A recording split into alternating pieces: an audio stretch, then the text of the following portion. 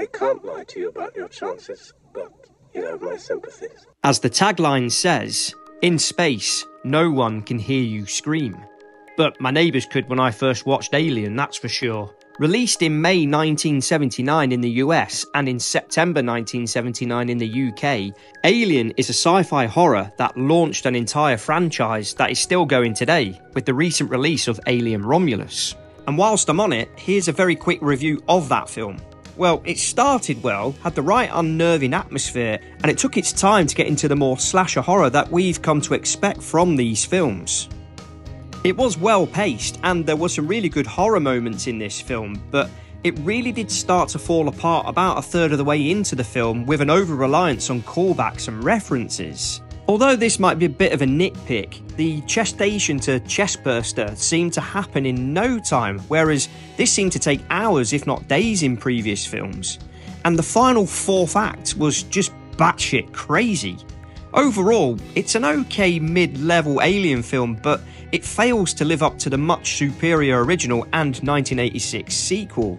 I mean, me personally, I think I prefer Alien 3 over this entry into the series, but I do think it is an improvement on Alien Covenant. I was pretty disappointed with the film after such a good opening third, but it seemed to fall victim to the usual fan service that legacy franchise films seem to be littered with these days. The Alien franchise has seen its ups and downs, and I would say that the quality of the storytelling, horror, and overall entertainment of the first and second films has never been matched. But we'll get onto Aliens in a future Throwback Thursday. Alien 3 is a fascinating film on its own and is one that I will happily go back and watch now and again. I actually do prefer the assembly cut of that film, but with Aliens, we'll get onto that in a future Throwback Thursday. Alien Resurrection just seemed to be like a, well, let's do another Alien film just for money. And it was okay. There are some really good moments in it, but it's not one of those films that I actually get excited to go back and watch. Not as much as the first two and the third one. Although Prometheus did have a lot of good ideas in it, I do think that film and Alien Covenant are ones that I could just do without, to be honest. I first watched Alien as a teenager in 1998, almost 20 years after its original release, when my older brother rented it from the local video shop, and I loved it. I found it to be unnerving yet captivating, terrifying yet exciting, and a film that I have loved going back to watch every now and again. They just simply don't make them like they used to. From the outset, the film feels very unnerving. The opening title sequence with the lack of music and that opening tracking shot through the ship just sets up the tone of the film. From the very beginning, you feel on edge. Even though you know nothing is going to jump out at you from around the next corner, the feeling of that likelihood just seems to linger in the back of your mind. I previously reviewed Jaws and I spoke about how that film used the fear of the unknown to its advantage. Yes, that wasn't the original intention with Jaws, but it really did make Jaws a much more frightening film than maybe it would have been if the shark worked. But here, Alien really does take it to another level. For instance, the claustrophobic sets of the Nostromo coupled with the dim lighting really helps with that unnerving atmosphere because it feels like if there is a monster lurking behind the next corner in the shadows, there is nowhere to run. Although the film is set in the future on a space freighter, the characters feel like real people and altogether grounded.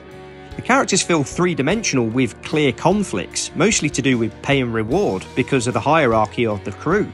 There is also clear resentment between some of the characters. This is clear with Parker and Brett wanting a bigger share of the payment once they've made their delivery, and they make this known to multiple crew members, even hounding Ripley once Captain Dallas is off the ship. There is also further conflict between Lambert and Ripley throughout the film, most notably when Ripley doesn't allow for Dallas and Lambert to bring Kane back on board the ship after he is attacked by the facehugger. The point being is that this shows that there are fractured relationships between some of the characters and they show their emotional sides. When you're stuck in a spaceship with a certain amount of people, it is likely that you're not really going to get on with everybody, and this just shows the real human conflicts between the characters. The film does a really good job of setting up the characters before all hell breaks loose. This allows the viewer to get to know them a little bit more before the xenomorph starts to kill them off one by one. And I believe that this helps to increase the horror somewhat. When you've got a generic character with not much build up, you don't really care for them too much when they do fall victim to the film's main threat. There is much more impact with the death of a character that feels three dimensional as opposed to a cut and paste two dimensional character with no depth that is purely there to be alien fodder. For first time viewers, it would seem that as Tom Skerritt is top billed and is the captain of the crew, his character is the most likely one to survive the ordeal. However, once his character is caught by the alien in the air duct, it's clear that everyone is fair game and that it can be anyone who survives, or everyone can be killed off.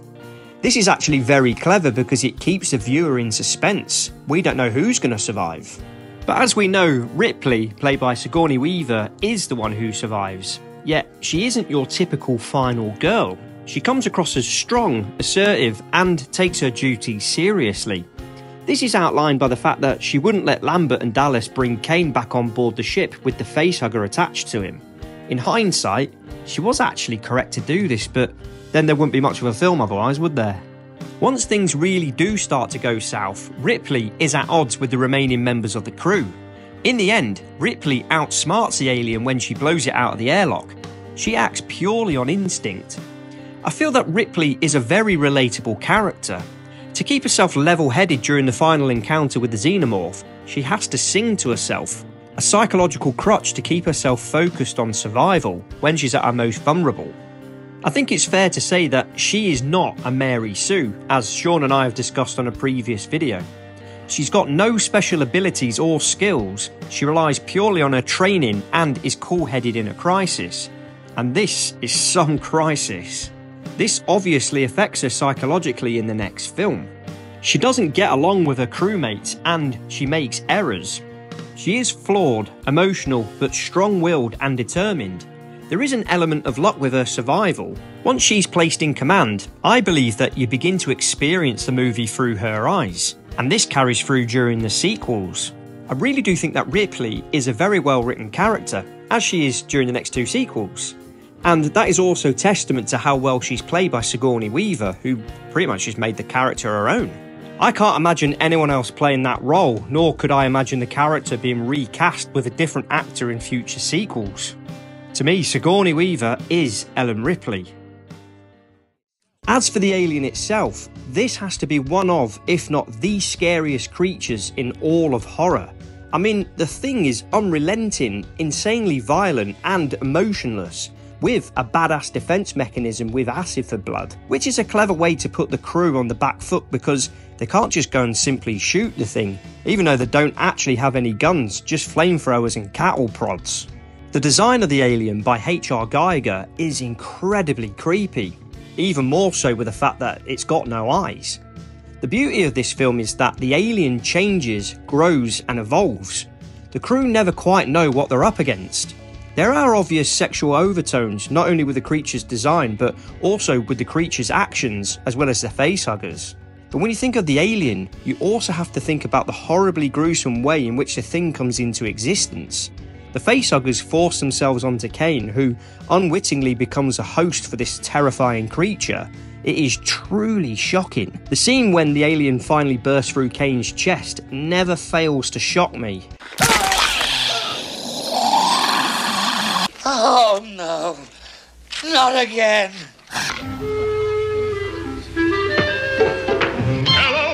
The alien has a very complex life cycle brought into existence in such a horrific way. It is more like a wasp than, say, a Klingon from Star Trek. It is purely terrifying with an unrelenting instinct to kill. One of the best things about this film was how ambiguous it was, with so many unanswered questions.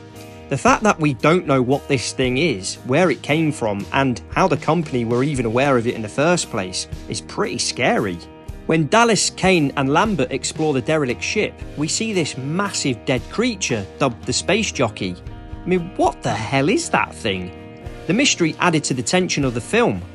There is so much more going on than we, or even the characters in the film, can even comprehend. There are horrors out there in the universe that we just cannot imagine. And then Prometheus came along and spoiled all of that. So, um, oh, for fuck's sake. Side note, Prometheus actually was a pretty decent film, but I don't think that it should have had anything to do with Alien. I do feel that learning more about the space jockeys and the xenomorphs' origins really does rob us of some of the horror that comes from the intrigue and mystery from Alien. I mean, I don't believe that it actually adds anything positive to it. The best way I can really describe this is like being in a dark room and not being able to see things properly. Your imagination can run away with itself, then the light comes on, you can see that there's nothing to be scared of, and the mystery goes away, and with it, the aspect of fear. That's how I describe what Prometheus is to Alien. But one of the most disturbing moments in the whole of the film is when the alien kills Lambert. You don't see the kill, but you do hear it, and my god, it is horrible. You can only imagine what it's doing to her. Even when watching the film again for this review, it still gets me. The fact that you can only imagine the sheer horror really does make it truly disturbing. Alien is a film that I feel still holds up today. Yeah, the effects are dated by today's standards, but that doesn't negatively affect the film at all. If anything, I think it goes in the film's favour. The alien lurks in the shadows and is effectively a man in a suit, if you saw the alien too much, it wouldn't have the horrifying impact that it actually has. Again, the less you see. There are a couple of shots that probably don't hold up too well. I mean, after all, it was released in 1979, but one of which is Ash's head when he's revealed to be an android. It was a great twist because no one would have seen that coming, but this really doesn't look great by today's standards.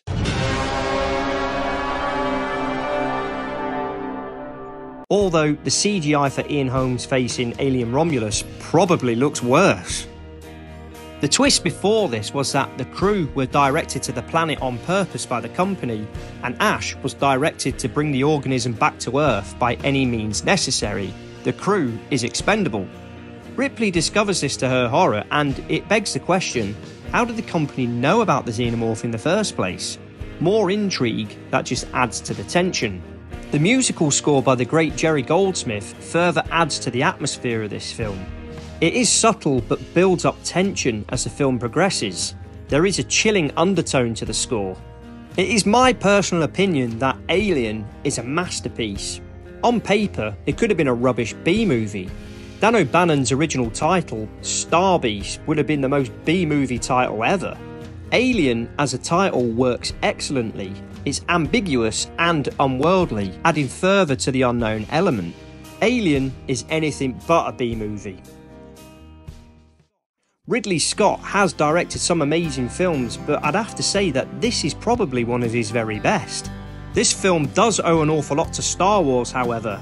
20th Century Fox were more than willing to delve back into the sci fi genre to further capitalise on that film's success.